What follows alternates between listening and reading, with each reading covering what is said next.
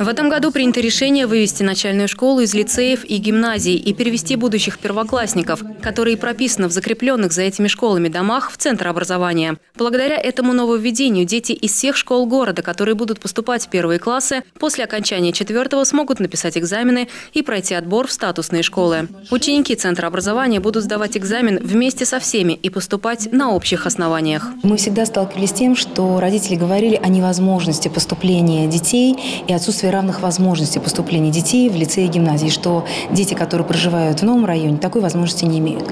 Вот исходя из долгого анализа, мы поняли, что наиболее оптимальное решение – это вывести э, начальное общее образование из-под двух наших лицеев и гимназий. Набирать первоклассников Центра образования будут учителя, которые в мае выпускают четвертые классы в лицеях и гимназии. Всего планируется открыть 6 классов по 25 человек. Распределение детей по классам – это всегда было и есть, и остается полномочием образовательной организации.